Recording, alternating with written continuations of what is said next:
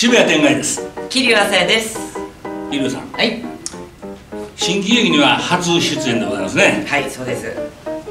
意気込みはいかがでございますか？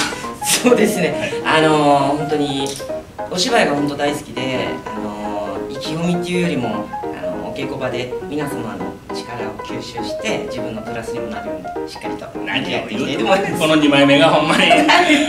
うちにこんな2枚目欲しいわ。はい。まあまあまあとりあえず桐生さん頑張って、はい。ねあの京都の夏に負けんようにやってくださいね、はい。